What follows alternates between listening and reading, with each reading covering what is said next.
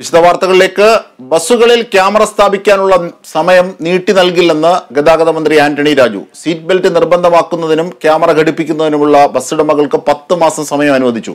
ഇനിയും സമയം അനുവദിക്കാൻ കഴിയില്ലെന്നും മന്ത്രി വ്യക്തമാക്കി. നിയമം നടപ്പിലാക്കുമ്പോൾ എതിർക്കുന്നത് അംഗീകരിക്കാനാകില്ലെന്നും മന്ത്രി പറഞ്ഞു.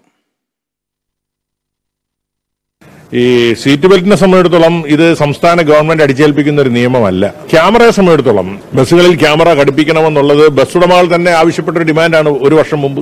പത്ത് മാസമായി. ക്യാമറകൾ സ്ഥാപിക്കുന്നതിന്റെ ഗുണം ബസ്സിലെ ജീവനക്കാർക്ക് തന്നെയാണ്. അവർ തന്നെ പരാതിപ്പെട്ടു.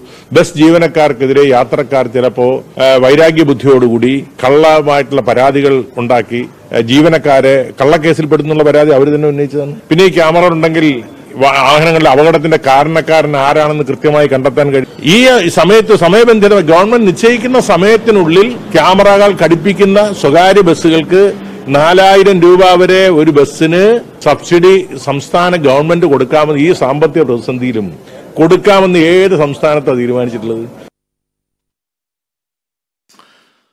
ബസ് ഉടമകളുടെ ആവശ്യങ്ങൾ അംഗീകരിക്കില്ല അത്തരം സമ്മർദ്ദങ്ങൾക്ക് വഴങ്ങില്ല. ബസ് സമരം പ്രഖ്യാപിച്ച് സൂചനാ പണിമുടക്കും അതിനുശേഷം അനിശ്ചിതകാല പണിമുടക്കും ഒക്കെ പ്രഖ്യാപിച്ച ബസ്സുടമകളുടെ സമരത്തിന് വഴങ്ങില്ല എന്ന കൃത്യമായ സന്ദേശം തന്നെയാണ് ഗതാഗത മന്ത്രി ആന്റണി രാജുവിന്റെ വാക്കുകൾ സൂചിപ്പിക്കുന്നത്.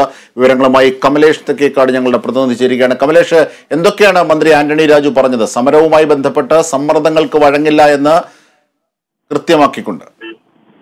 സാർ തീർച്ചയായും അത്തരം ഒരു സൂചന തന്നെയാണ് മന്ത്രി ആന്റണി രാജു ഇപ്പോൾ ബസ് ഉടമകൾക്ക് കൃത്യമായി നൽകുന്നത് എന്ന് തന്നെ പറയേണ്ടി വരും. കഴിഞ്ഞ ദിവസം കൂടി ബസ് ഉടമകളുമായി ഈ വിഷയങ്ങളെല്ലാം തന്നെ ഈ ബസ്സുകളിൽ ക്യാമറ ഘടിപ്പിക്കുന്നതും സീറ്റ് ബെൽറ്റ് നിർബന്ധമാക്കുന്നതും അടക്കമുള്ള കാര്യങ്ങളിൽ ബസ് ഉടമകളുമായി ദീർഘനേരം ചർച്ച നടത്തിയിരുന്നു. എന്നാൽ ഈ വിഷയ ഈ വിഷയങ്ങളെല്ലാം സംസാരിക്കുമ്പോഴും ഇത്തരത്തിലൊരു പണിമുടക്കിലേക്ക് തങ്ങൾ പോവുകയാണ് എന്ന കാര്യം തന്നെ അറിയിച്ചിട്ടില്ലെന്നും തന്നോട് സംസാരിച്ചിട്ടില്ലെന്നുമാണ് മന്ത്രി ആന്റണി രാജു വ്യക്തമാക്കിയിട്ടുള്ളത്. അതുകൊണ്ട് തന്നെ ഇതിൽ പ്രധാനമായും അദ്ദേഹം പറഞ്ഞത് ബസ് ഉടമകൾ നേരത്തെ തന്നെ നിരവധി ആവശ്യങ്ങൾ ഉന്നയിച്ചിട്ടുണ്ട് ബസ് ചാർജ് വർധനയടക്കം ഉന്നയിച്ചിട്ടുണ്ട്. ഇതിനോടെല്ലാം അനുഭാവപൂർവമായ ഒരു സമീപനമാണ് സർക്കാർ സ്വീകരിച്ചിട്ടുള്ളത്. അതെല്ലാം അംഗീകരിച്ചു നൽകുന്ന ഒരു സ്ഥിതി സർക്കാരിന്റെ ഭാഗത്തു നിന്നും അത്തരമൊരു സമീപനം സർക്കാർ സ്വീകരിച്ചിട്ടുണ്ട്. പക്ഷേ ഇപ്പോൾ വീണ്ടും വീണ്ടും വീണ്ടും ഇത്തരത്തിലുള്ള സമ്മർദ്ദ തന്ത്രം പയറ്റി എന്തെങ്കിലും നേടിയെടുക്കാം എന്നുള്ള ഒരു നിലയിലേക്ക് അല്ലെങ്കിൽ സംസ്ഥാന സർക്കാരിനെ സമ്മർദ്ദത്തിലാക്കാം എന്നുള്ള ഒരു നിലയിലേക്ക് ബസ് ഉടമകൾ തീരുമാനിച്ചാൽ അതിന് നിന്നു കൊടുക്കാൻ കഴിയില്ല. അതൊരു ശരിയായ നടപടിയല്ല എന്ന് വളരെ കൃത്യമായി തന്നെ ഗതാഗത മന്ത്രി ആന്റണി രാജു വ്യക്തമാക്കുകയാണ്. അതോടൊപ്പം ഈ സ്വകാര്യ ബസ്സുകളുടെ പിന്നെ ഈ കൺസെഷൻ നിരക്കാണ് അവർ പ്രധാനമായും ഉന്നയിക്കുന്നത്.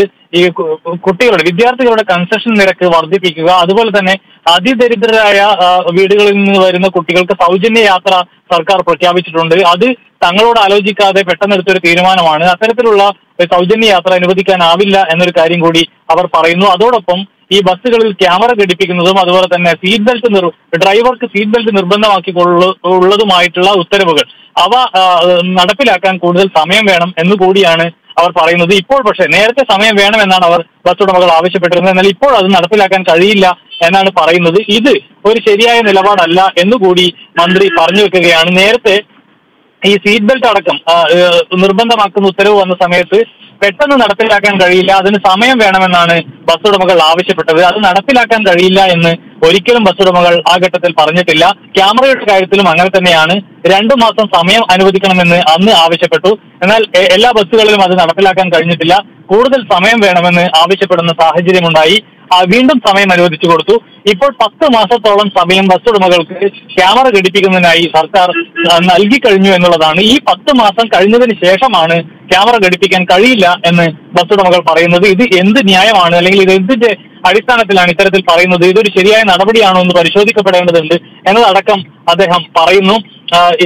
അതോടൊപ്പം ഈ ബസ്സിൽ ക്യാമറ ഘടിപ്പിച്ചാൽ അതിന്റെ ഗുണം ഈ ബസ് ഉടമകൾക്കും അതുപോലെ തന്നെ ബസ്സിലെ തൊഴിലാളികൾക്കും യാത്രക്കാർക്കും പൊതുസമൂഹത്തിനും എല്ലാമാണ് എന്ന കാര്യം അവർ തിരിച്ചറിയ തിരിച്ചറിയേണ്ടതുണ്ട് എന്നാണ് മന്ത്രി പറഞ്ഞത്. ഈ ബസ്സുകൾക്കകത്ത് നിരവധിയായ അതിക്രമങ്ങൾ ബസ് തൊഴിലാളികൾക്കെതിരെ നടക്കുന്നുണ്ട് എന്ന ആക്ഷേപം ബസ് ഉടമകളുടെ ഭാഗത്തു നിന്ന് വന്നിട്ടുണ്ട്.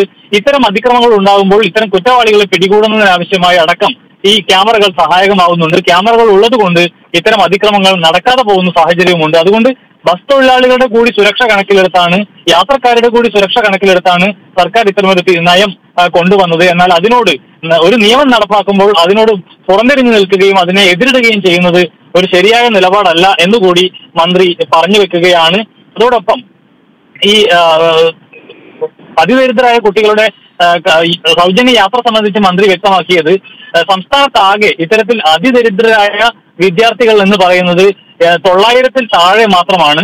ഇതിൽ പകുതിയോളം ആളുകൾ K S R T C ബസ്സുകളിൽ അവർക്ക് സൗജന്യ യാത്ര അനുവദിക്കാമെന്ന് K S R T C തന്നെ സമ്മതിച്ചിട്ടുണ്ട്. അങ്ങനെ വരുമ്പോൾ കേവലം നാനൂറോളം കുട്ടികളെ മാത്രമാണ് സ്വകാര്യ ബസ്സുകൾക്ക് ബസ്സുകളിൽ കൊണ്ടുപോകേണ്ടി വരുന്നത്. അതുപോലും പറ്റില്ല എന്ന് പറയുമ്പോൾ അവരുടെ ഒരു സാമൂഹ്യ പ്രതിബദ്ധത എന്താണ് എന്നത്? അതായത് പതിനായിരക്കണക്കിന് ബസ്സുകളാണ് സംസ്ഥാനത്ത് ആകെ ഓടുന്നത്.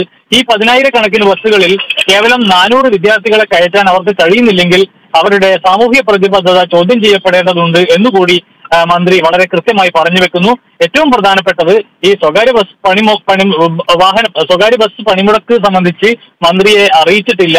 അത്തരത്തിലുള്ള ഒരു സമ്മർദ്ദ തന്ത്രം ചെലുത്താനാണ് നിലപാടെങ്കിൽ അത് അംഗീകരിച്ചു കൊടുക്കില്ല എന്ന് തന്നെയാണ് വളരെ കൃത്യമായി മന്ത്രി ഇപ്പോൾ മറുപടി നൽകിയിട്ടുള്ളത്. അജിൻ സാർ. ശരി കമലേഷ്. കമലേഷാണ് വിവരങ്ങൾ വിശദാംശങ്ങൾ നൽകിയത്.